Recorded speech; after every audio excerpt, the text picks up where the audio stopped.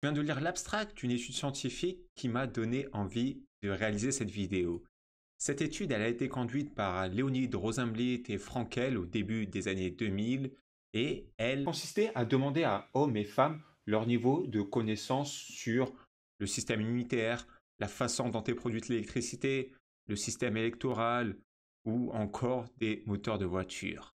Une fois la note donnée, les auteurs, taquins, leur demandent sans crier égard Hmm, très bien. Et maintenant, est-ce que tu peux m'expliquer simplement ce système en moins d'une minute? Et c'est là que le bas blesse et que les auteurs constatent cette illusion de connaissance. L'étude conclut d'ailleurs que nous tendons à surestimer nos niveaux de compréhension du monde car nos cerveaux sont ainsi câblés qu'ils tendent à combler leurs lacunes avec des généralités ou des vagues hypothèses. Et c'est là que je me suis rendu compte qu'aucun prospect ne m'a jamais demandé d'expliciter mon métier parce que certainement, ils pensent qu'ils maîtrisent aussi le marketing puisqu'ils sont soumis au quotidien à des injonctions marketing, qu'ils consomment du contenu sur les médias sociaux et que peut-être eux-mêmes ils euh, créent, publient des stories. Et peut-être même que certains d'entre eux peuvent penser que ce type d'action peut suffire à, au hasard, assurer l'installation de panneaux photovoltaïques auprès de particuliers touchés par ce type de publication.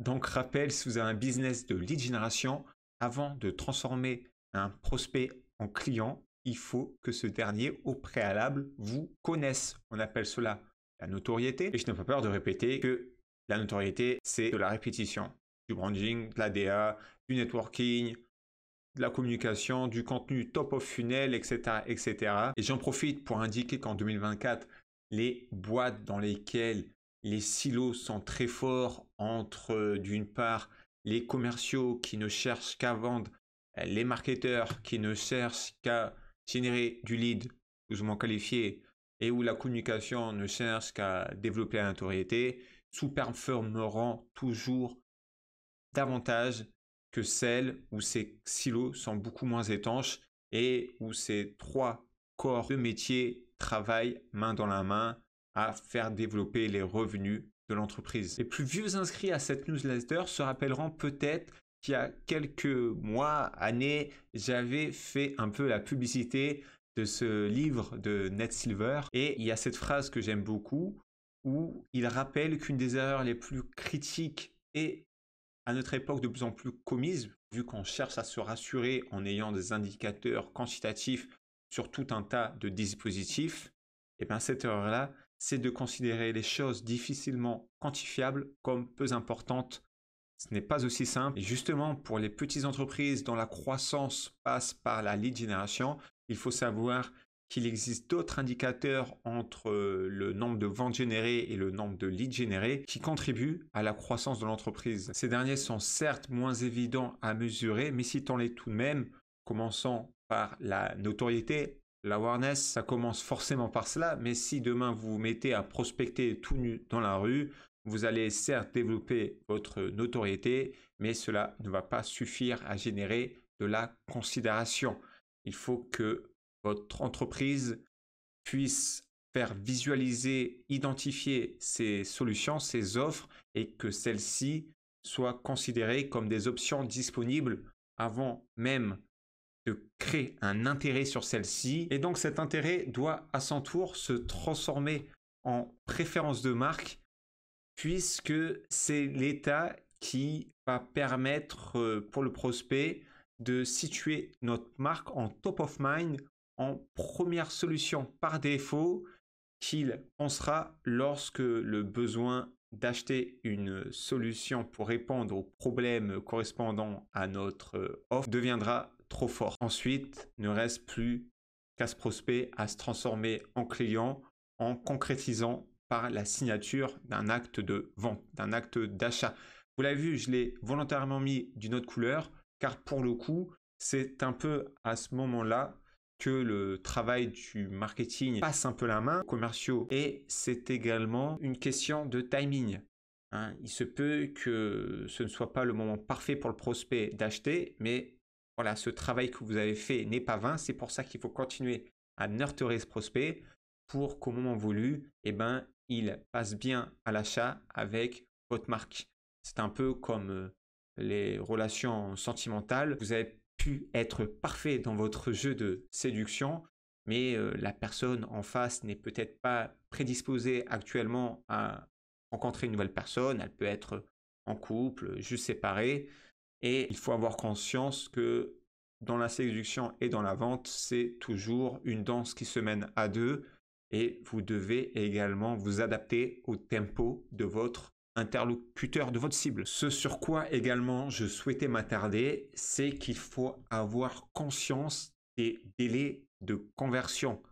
Évidemment, si vous vendez des barres de céréales, que le travail marketing va avant tout s'effectuer sur euh, le merchandising de votre produit dans les magasins le distribuant, puisque on n'est pas loin de l'achat impulsif, bien que c'est pas forcément ça. Hein. Il y a de la distinction entre de la sucrerie et des barres de céréales, évidemment, mais c'est sûr que c'est souvent très fortement corrélé à votre panier moyen. Hein. Plus il est faible, plus les personnes seront capables de prendre une décision assez rapide. À l'inverse, il faudra muscler les touch points qu'on va avoir avec notre cible, les points de contact qu'on va avoir avec eux, les diversifier et leur ramener euh, différents éléments attendus si notre panier d'achat est plus élevé. Voilà, si vous vendez des matelas, eh ben, euh, il faut supposer qu'il y ait peu de chances pour que entre le surgissement du besoin et euh, le passage à l'action, il n'y ait que quelques minutes. C'est souvent un projet davantage maturé. À ce stade, je voulais une nouvelle fois recommander ce livre. J'indiquerai sa fiche dans la barre de description. Et je tenais à préciser que je recommande à chaque entrepreneur. Il est certes écrit en anglais, mais il a le pouvoir de rendre limpide le chemin à emprunter pour systématiser sa croissance. Et donc j'ai emprunté ce schéma à l'auteur où en fait il va distinguer trois grandes phases dans lesquelles les besoins de compréhension et de contenu à pousser à votre prospect va différer. Euh, il y a la phase où il n'est pas conscient de son problème, la phase où il est conscient, et donc à chaque fois, on est dans une phase dans laquelle il lutte face à un souci. Et donc dans cette phase-là, vous devez savoir ben, dans quel état il se sent, quel est le déclencheur qui va lui faire prendre conscience du problème, comment il se débrouille sans solution, est-ce qu'il utilise déjà une solution obsolète ou aucune solution. Tout cela, c'est des questions auxquelles vous devez avoir la réponse et proposer des types d'actions marketing correspondantes. Ensuite, il faut également avoir en tête qu'on a des niveaux de bassin d'audience qui sont très vite divisés par 10 entre les personnes qui n'ont pas conscience de votre problème. Prenons peut-être le surpoids. Hein, certains ne, se considèrent pas dans cette case-là, alors qu'objectivement, ils en font partie. Euh, il y en a peut-être que dix fois moins qui ont conscience euh, d'avoir un problème de surpoids et ressentant le besoin de transformer leur corps. Second gros bloc, on est cette fois-ci dans la partie recherche. On n'a que des personnes qui ont conscience de leurs problèmes.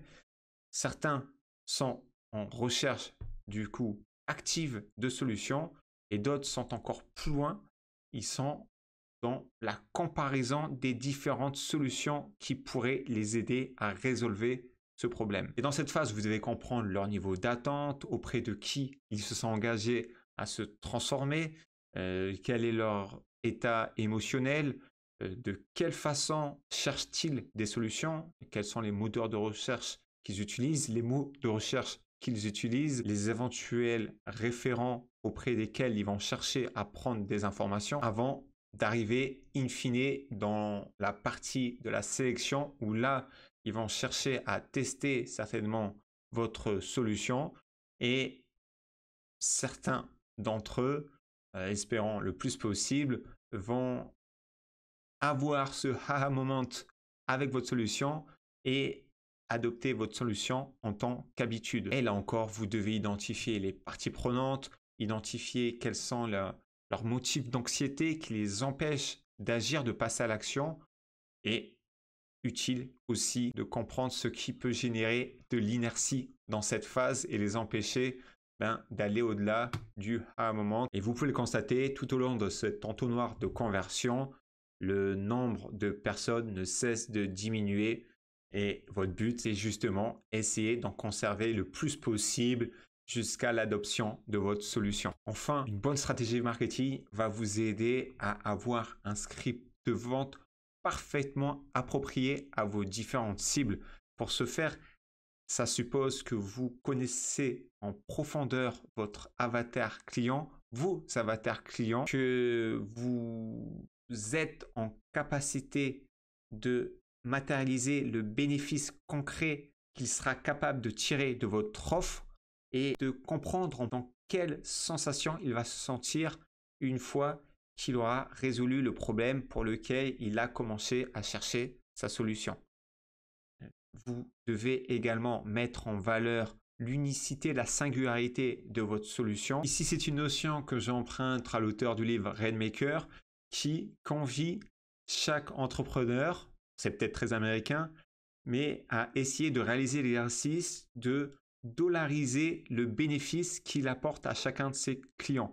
Concrètement, essayer de donner euh, un chiffre hein, qui peut être rapporté au jour, au mois, à l'an, en, temps de vie, pour permettre de rendre très concret votre bénéfice produit dans la tête de votre client et qui puisse le comparer à tout un tas d'autres options, y compris euh, ne rien faire. Il est également nécessaire d'intégrer des éléments le rassurant de preuve sociale. Ça peut être des avis Google, des avis Amazon.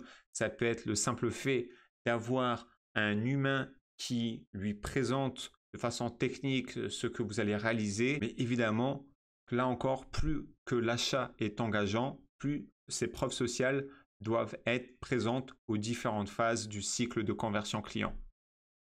Aligner le point de vue avec des caractéristiques de votre produit. Euh, on était tout à l'heure sur euh, les énergies renouvelables. Et eh bien évidemment que vous ressentez que votre euh, prospect a des appétences pour les sujets écologiques.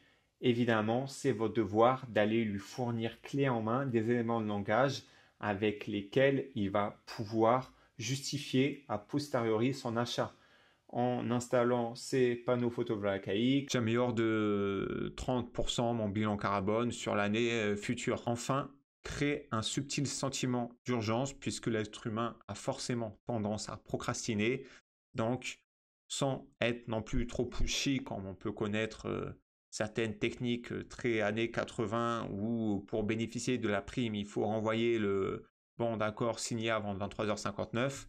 Non, être cohérent avec votre marque, avec votre branding, mais indiquer néanmoins que chaque offre a une fin et qu'il faut donc euh, euh, saisir ça avant la disparition des stocks, de la promotion, etc. etc. Voilà, c'était une simple petite mise au point pour toutes les personnes qui doivent générer des leads.